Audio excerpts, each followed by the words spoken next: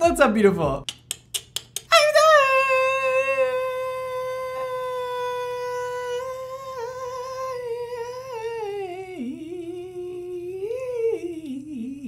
Permanent straightening is a highly debated topic, and personally, I have strong opinions about it. Not always positive, but today, we're watching some girls get Japanese straightening perms. I have never actually performed a Japanese straightening treatment on somebody. However, I do know quite a bit about it. We're gonna talk about it. We're gonna go through it. We're gonna watch these girls get it done and see what happens to their hair. Is it a good outcome? Is it a bad outcome? And what is my personal opinion about permanent straightening treatments? Okay, let's do it.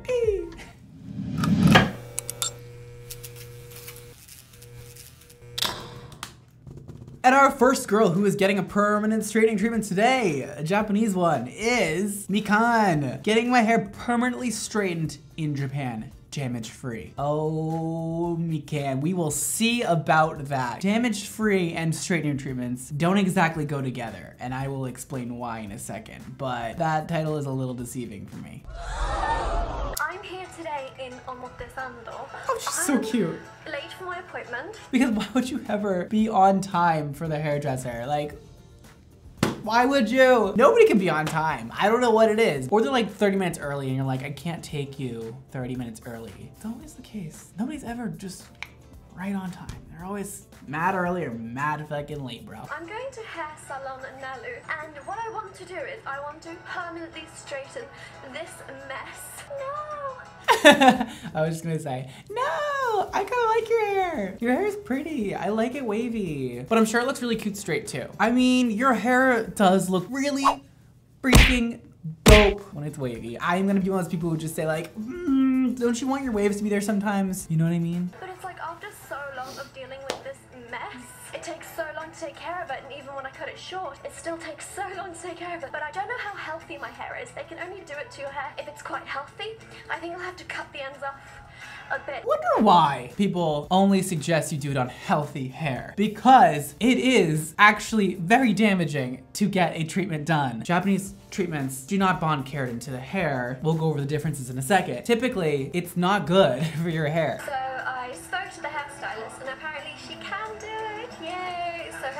the end of the day I will have straight hair, thank God. She said that the ends, because they have been bleached, will be a little bit more dry, but I don't really mind so much, so hopefully it'll be good by the end of it anyway. Okay, she's way too cute. I can't handle it. They've like completely covered everything on me. So typically they're clarifying the hair before applying the solution that then gets straightened and blow dried into the hair. Putting a little protective ear thing on.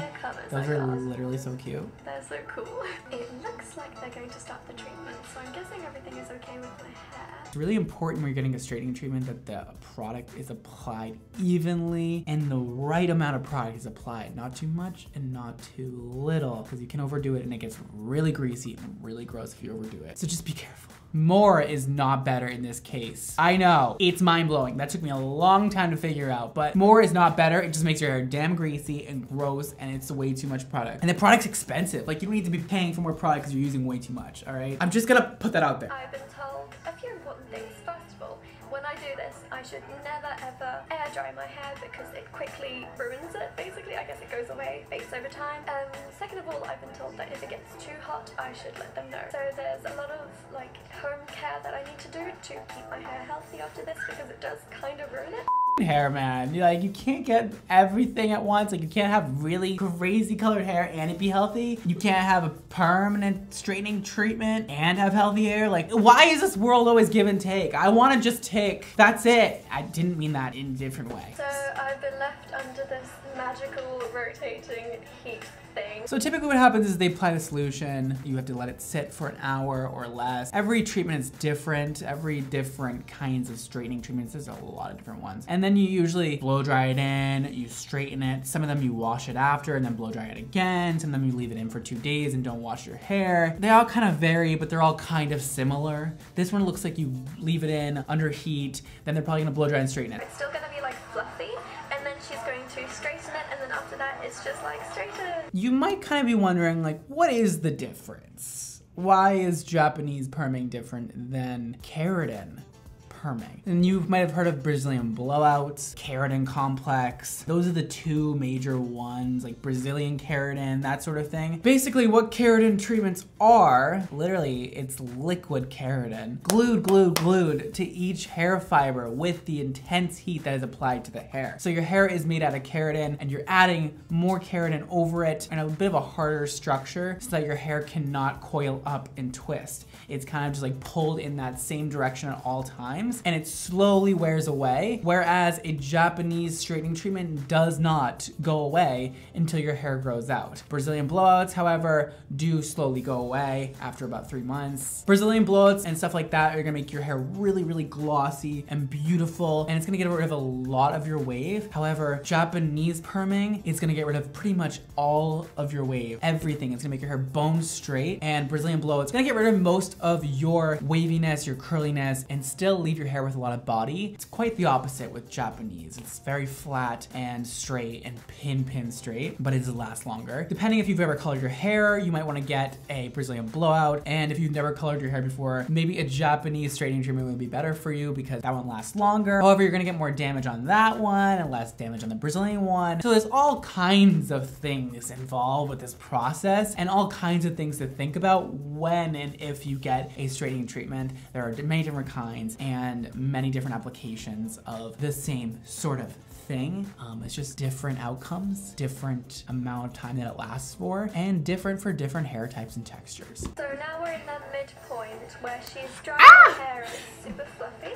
This is pretty much my hair like if I straighten it and then I go outside because Ah! it just it doesn't respond well to humidity. So I'm really excited to see how it will turn out. All right, all right. I don't blame her for getting a straightening treatment. I think it, I, I think it would be good for her.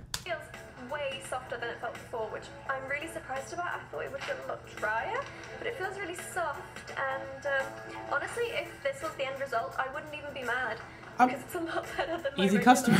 hair.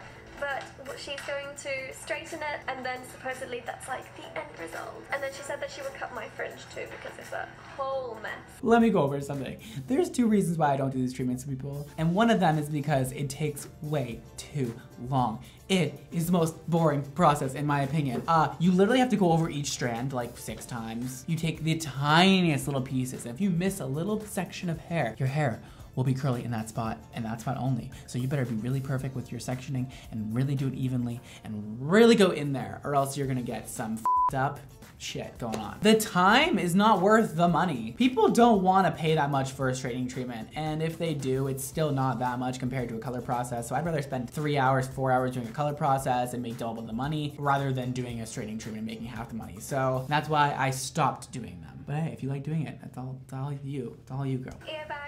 Oh my God, her hair looks so pretty. cream. So Oh. And now they put another half an hour. layer of Now something on there. Wash it and dry it and do a treatment and then we're done. So I'll see you after that. This is my hair now that we're all done. I'm going to do a full the straightening Wow, her hair looks beautiful. Few days when I've actually lived with it. I just realized, you guys, hold up a second. I didn't finish explaining what the difference was between both of these processes. So, Japanese straightening actually changes the inner workings of the hair cuticle. The cortex of the hair is changed. It's very, very similar to a curly perm, where it changes the disulfide bonds in the hair. It breaks disulfide bonds and reforms it into a pin straight moment. So it's actually working in the inside, whereas Brazilians and such things like keratin treatments are working on just the outside. It is not reforming anything in the inside, and that's the difference, okay? I just want to talk about how it's been dealing with my hair, how my hair has felt, and just generally afterthoughts since I got this done. To start things off, I would like to mention whether or not this is sponsored, just because people like to know these things, and it's very nice to be, you know, transparent, especially when you're making a review. So, yes and no. It was not Why is there a fly on my set? Get away from me. Get away from me. I don't want you anymore. Stop flying in my face. I will show you my hair when it has just been freshly dried. It's just because my haircut is very, Whoa, very it's long. so if you don't actually straight. style it, it looks a bit ridiculous. So yes, it's very straight. Whoa. Very, very straight. But it's kind of still attractive, it's just like a really, really blunt haircut. So it doesn't look good if I don't do anything to it. So I do things like curling in the ends, which is the easiest thing for me to do. It took me like five minutes to do this. It still looks beautiful Okay, and so I've shiny. only curled the ends. I approve. haven't touched the roots at all. It's just still completely straight, even a month later. One thing I am worried about is I'm worried about when it grows out and the roots are going to be curly. I think my hair grows Yeah. quickly. For example, It's not I that cute when that need to get my happens. fringe trimmed. It's already way too long, even though I got it cut at the salon. So that's basically what happens is your hair grows out, and you get a bit of a curly root until you get it redone. This is the issue, man, amongst other issues with straightening treatments, is that you, it lasts for a couple months until your roots start to grow in and you get these awful curly roots and you have to straighten your roots and then the ends are straight and the roots aren't and then you have this whole like thing going on where you like can't wear it natural, you can't wear it not natural and then you have to like always style it and it ends up being more styling in the long run. But her hair looks nice, just I don't know how much of a convenience it will actually end up being for uh, Miss Mikan, but looks nice. Let's move on, let's watch one more. This video is by Rachel and Jun. This is called Japanese Permanent Hair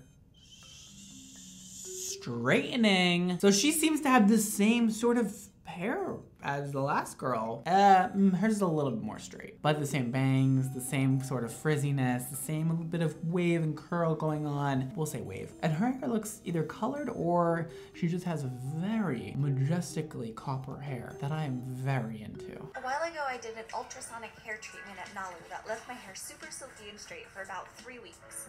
I loved it, but the results didn't last too long, and so they said if I did the permanent hair straightening, I've heard of these thermal treatments, whatever she just said. They're actually really crazy. They use this straightener that doesn't heat up, does this thing, and somehow your hair is smoother and straighter with ionic things going on. Listen, I have literally no idea what I'm saying right now. If you want to know about more about that, then research it yourself. It like straightens the hair, temporarily smooths it out, and adds a lot of shine apparently. Sounds a little bit like bullshit to me, but like, oh, I don't know. And we're going over the same process, the same things are kind of going on. And let's see if we get a little bit more of an insight on this one. And then I'll share with you guys why I don't like these treatments very much. This is cool because they actually put her bangs in a round, like, paper thing. However, the solution is applied is how the disulfide bonds in the hair are going to reform. So they actually put a cool little, like, rounded curler in the front or like a rounded piece of plastic paper in order to make that kind of like rounded bang look she likes, which is really artsy and cool and that's how it should be done. I think the last girl didn't get that, which is why her bangs kind of ended up being like two different ways. So it's really important the way you relax the hair, the way you get it straightened is in the way that you're going to wear it or else it's always going to be parted in that same direction at all times. If somebody does one of these Japanese treatments on you and gives you like a side part or a middle part and you only wear it on the side, that's not a good idea. You should tell them you wear it on the side because if they do it in the middle and it's straightened like that, it is going to stay in the middle forever forever or until your hair grows out and it's gonna be super annoying to try and change that. So that's really important. Great application, very satisfying.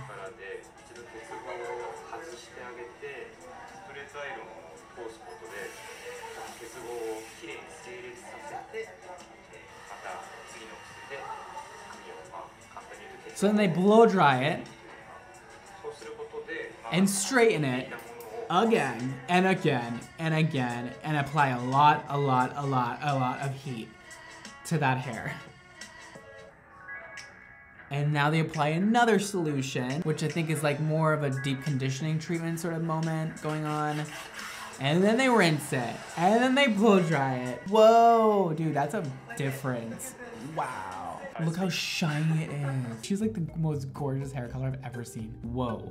That is like HD copper. Like that is beautiful. Wow. It looks so smooth and shiny. Okay, so it's been almost two months since I did the Let's permanent see. hair straightening, and God, this bug will away. okay, so it's been almost two months since I did the permanent hair straightening, and I just got out of the shower. Let's see what the outcome is. wet, Let's so see if she even likes in the it. time of just me setting up this camera and doing a little bit of makeup, like my bangs have dried a little bit. But anyway, I'm gonna do a time lapse for you today show you what it looks like to have your hair just air dry after doing the permanent hair straightening. uh, which is what I've been doing this entire time since I got it. I haven't put in any oils. I haven't gone back for any like more treatments. I haven't done anything special to it. Just shampoo and conditioner every day. I've never straightened it. I just go to sleep with my hair wet, and then I wake up and it's like perfect straight hair every single time. So I'm gonna do a time lapse today to show you guys what it's like. It's gonna take me like three hours. Wait, this is so cool, actually.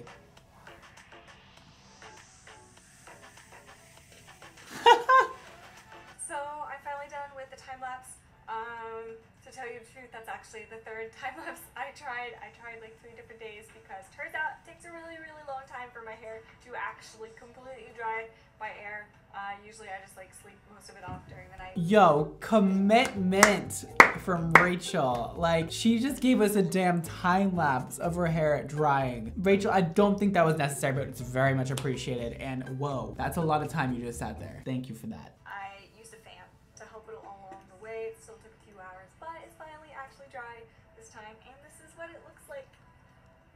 Just air drying, two months after permanent hair straightening. It's super soft and silky feeling, like I haven't even brushed it. Could brush it, but I don't even really need to. Her hair is so shiny and soft looking. Oh, dude, yes. Honestly, yeah. Mm, no, yeah, yeah, for sure. That was actually really good for her too. Okay, well, let's get into my uh, thoughts about this whole thing. So, okay. Over the course of watching these two videos, my thoughts about straightening treatments has sort of adjusted, let's say. And the reasoning for that is, let me just explain to you why I don't generally like them that much.